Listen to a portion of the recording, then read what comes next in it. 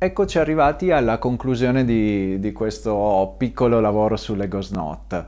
Eh, in questi due esercizi ed in questo video eh, ti farò vedere come io ho cercato di riportare tutte le conoscenze che abbiamo ottenuto negli esercizi precedenti, ma riportandole su un, uh, su un groove uh, che, che, che, ho scritto così sul momento. Quindi l'invito sarà poi scriviti tu un groove e prova a fare, a fare lo stesso lavoro. Questo proprio per interiorizzare tutto il lavoro tecnico che è di conoscenza e di consapevolezza, soprattutto dei sedicesimi che abbiamo fatto finora.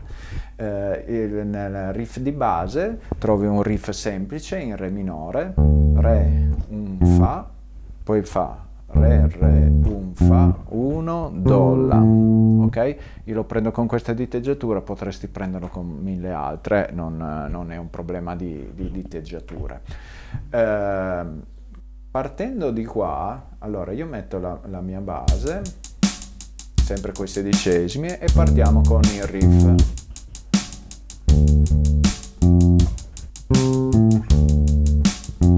E poi dal giro dopo proviamo a fare la prima variazione.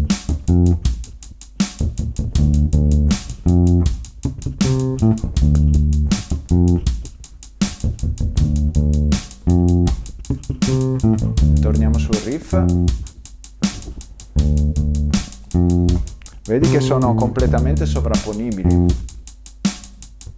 Andiamo sul secondo.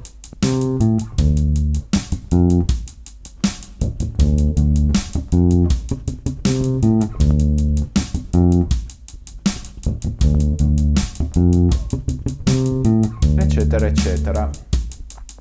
ti dicevo che sono completamente sovrapponibili perché eh, non ho alterato le note del riff, ma le ho tenute. Al massimo, le ho accorciate, tipo nel primo esempio dove ho La che durerebbe un ottavo, avendoci messo una ghost note che mi serve poi per cadere sulla nota quando ricomincia il giro, eh, l'ho fatto diventare di un sedicesimo, però io l'attacco della nota reale lo vado sempre a rispettare in tutti e due gli esercizi, quindi le note sono esattamente quelle che vai a suonare sopra, ma condite da questi eh, Ghost Note che come hai sentito penso si rendano comunque eh, il riff molto più ritmico, molto più interessante, molto più ballabile.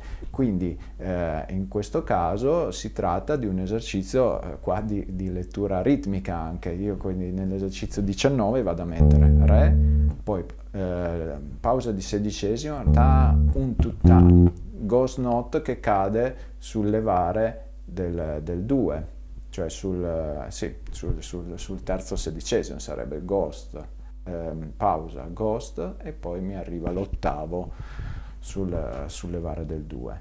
Eh, terzo di pausa, quarto quarto approccio con i, le, le, tre Ghost, quindi quello che abbiamo studiato, che abbiamo studiato prima. Eh, poi andiamo un re re, qua rimane uguale, qua eh, un ottavo, approccio con due note ghost,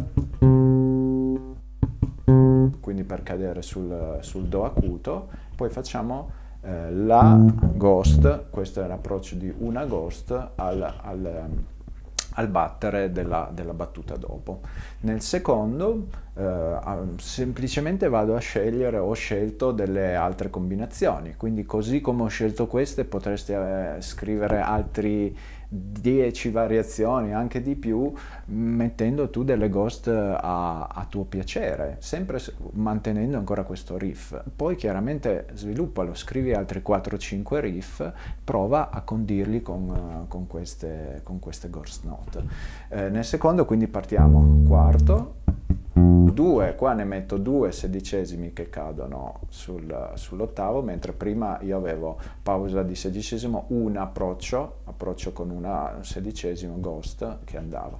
Eh, poi invece il, il, finale sul quarto quarto vado con l'approccio a 2, quindi eh, levare, cioè ho pausa di, di un ottavo, due sedicesimi ghost che cadono sul tatta del re, poi qua eh, ho pausa e approccio con una nota sedicesimo, quindi ta, ta, seconda battuta, e poi qua approccio da 3, 1,